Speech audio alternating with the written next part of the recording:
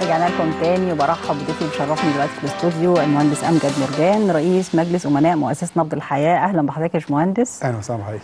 وبداية كده لو إحنا بنتكلم عن مؤسسة نبض الحياة فالناس كلها تقريبا يعرفوا مؤسسة نبض الحياة مشروع وقف النخيل. ده حقيقي. الفترة اللي فاتت حصل تغير كامل آه، بقينا مشهورين بوقف النخيل ك كأيقونة.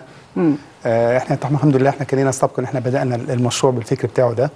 وطبعا لنا الشرف إن إحنا يعني بي في مؤسسات تانية بتحاول تاخد نفس المنهج. نجحتوا في التجربة.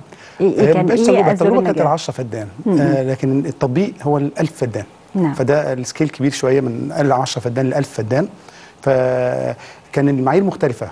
اللي إحنا بدأنا بيها واشتغلنا بيها.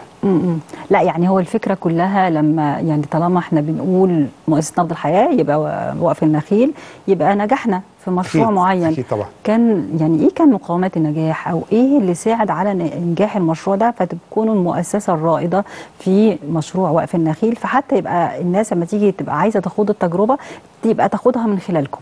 يعني إن هي تبقى عايزة لأن أنتوا عندكم مقومات النجاح أو نجاح التجربة اللي هي نجحت بشكل كبير فيعني أكيد ليه مقومات أنتوا تحفظوا بيها يعني أو أنتوا تميزتم بيها. تمام.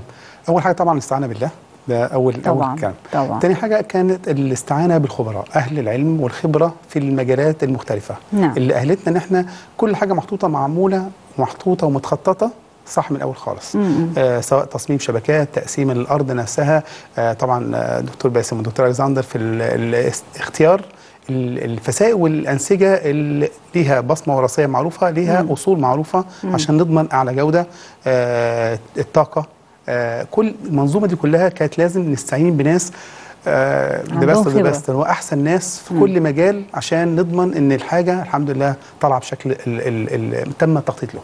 تمام يعني هو إن أنا أستعين بخبراء في, في هذا المجال هل كان عندكم يعني تخيل إن أنتوا هتنجحوا بالشكل الكبير ده آه، كان عندنا ثقة طبعا بالله الحمد لله إن إحنا هن التجربة دي هتنجح.